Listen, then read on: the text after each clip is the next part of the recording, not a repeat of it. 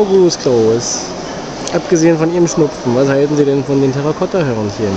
Äh, wir mögen es. Wir sind hier in Halle 1, der größten Halle. Und ähm, hier sind neben uns auch weitere eine Million chinesische Reisetouristen und Gruppen mit roten Fähnchen und Mützen. Achso, ich drehe mich mit, das ist die Regieanweisung, entschuldigen. Sie sehen hier die bereits restaurierten ähm, Terrakotta-Soldaten. Und hinter uns sind die noch in, in, in, in Arbeit befindenden, zu restaurierenden Terrakotta-Soldaten. Und hier sind noch ganz viele Gruben zwischendrin, wo man sieht, dass hier also noch ganz, ganz viel Arbeit ist.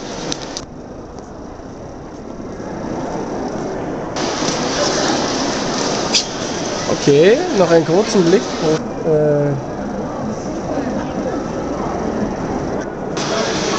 großartige Touristen mit Fähnchen und spitzenmäßigen Basecaps.